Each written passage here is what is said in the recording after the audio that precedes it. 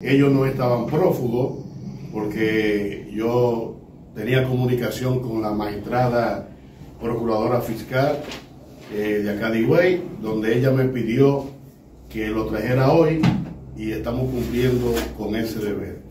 Eh, nosotros, como ustedes lo ven acá, eh, se lo entregamos a la justicia, todo bien, normal, sin ningún tipo de inconveniente, para que la justicia haga su trabajo. Así que eh, queda en manos de ustedes eh, esta pareja de, de esposos. Eh, el Señor que sepa que hay un hecho que habrá que iniciar una investigación, a ver cuáles fueron las causas que provocaron ese hecho,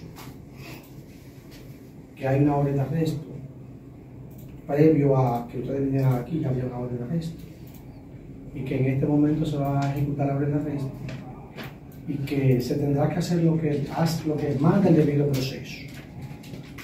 Eh, estamos acá, ya hicimos entrega eh, de la persona, eh, detuvieron a Víctor, creo que la señora la van a dejar eh, en libertad mientras tanto y ya están convocando sus abogados para asumir la defensa de ella.